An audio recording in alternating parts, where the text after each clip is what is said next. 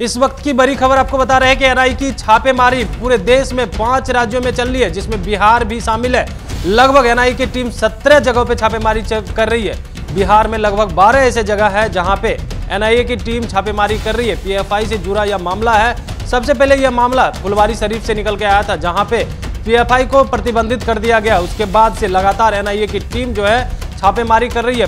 PFI को एक आतंकवादी संगठन बताया गया। उसके बाद से लगातार एनआईए की टीम छापेमारी में जुट गई है। इसका तार कहाँ कहाँ से जुड़ा हुआ है? तमाम जगह पे लगातार एनआईए की टीम छापेमारी कर रही है। बिहार में लगभग 12 ऐसे जगह है जहाँ पे एनआईए की टीम आज सुबह से ही छापेमारी में जुटी है। लगभग चार बजे सुबह से एनआईए की टीम अलग अलग ज़िले पहुँची है। सुबह से ही छापेमारी कर रही है। आपको बता दें कि दरभंगा, मुजफ्फरपुर और पूर्वी चंपारण का मामला है, जहाँ एनआईए की टीम पहुँची है और हर जगह खंगाल रही है कि क्या कुछ मामला है, क्या कुछ जानकारी वहाँ से मिल के आती है, ये क्या कुछ पूरा मामला है, आपको बताते हैं। बिहार के दरभंगा में उर्दू बाज़ार में डेंटिस्ट डॉक्टर सारिक रजा और शंकरपुरा गाँव में महबूब के घर पर रेड मारी गई है। वहीं मोतिहारी के चकिया में पीएफआई के सदस्य सज्जाद के घर टीम पहुँची है।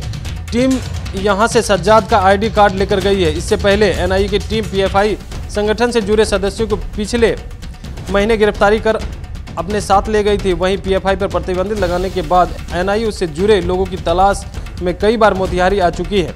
सूत्रों से मिली जानकारी के अनुसार एनआईए की टीम सोमवार रात मोतिहारी पहुँची। एसपी से मुलाकात के बाद सुबह सात बजे चकिया और महसी थाना की पुलिस के साथ कुआँ गाँव पहुँची, जहाँ सज्जाद अंसारी के घर का दरवाज़ा खुलवाया। फिर एनआईए और पुलिस की टीम ने उसके घर की तलाशी शुरू कर दी। मोतिहारी में एनआई के हत्थे चढ़े, इरशाद की निशानदेही पर सज्जाद के घर पर छापेमारी की गई। हालाँकि सज्जाद के पिछले चौदह माह में चौदह माह से दुबई में काम कर रहा है। उसके घर से उसका आधार कार्ड उसके साथ ले गई है।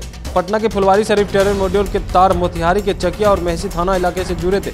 इसके बाद एनआईए और एसटीएफ की टीम लगातार दोनों थाने की छापेमारी कर रही है। जाँच एजेंसी अब तक आधा दर्जन संदिग्ध लोगों को गिरफ़्तार कर चुकी है। पीएफआई का सक्रिय सदस्य रियाज, मारूफ उर्फ़ बबलू और याकूब उर्फ़ सुल्तान अभी तक एनआई की पकड़ से बाहर है।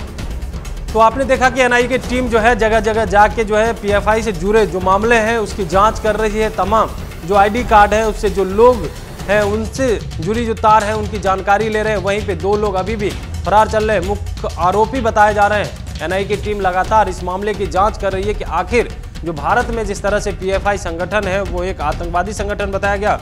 उसके बाद किस तरह से ये काम कर रही है? क्योंकि लगातार जो है ये कहा जा रहा था कि इसका तार जो है विदेशों से जुड़ा हुआ था, वही पाकिस्तान, बांग्लादेश, अन्य जो मुस्लिम कंट्री थे, उनसे जुड़ा हुआ था। उसके बाद से एनआई की टीम सक्रिय हुई और लगातार देश के विभिन्न जगहों पे, विभिन्न राज्यों में, विभिन्न जिलों में छापेमारी में जुट गई है और कई जगह पे लगातार छापेमारी कर रही है। अब जुड़े जो भी लोग हैं एक एक चीज़ को खंगाल लिए कि आखिर यह तार कहाँ तक जुड़ा हुआ है? किन किन लोगों तक जुड़ा हुआ है? तो फ़िलहाल इस खबर में इतना ही। कमलेश कुमार देशवा न्यूज़, पटना। सिर्फ़ खबर दिखाना देशवा न्यूज़ का मकसद नहीं। देशवा न्यूज़ की कोशिश है कि समाज की सूरत बदलनी चाहिए।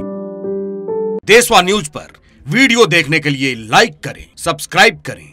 साथ ही बेल आइकन दबाना न भूलें।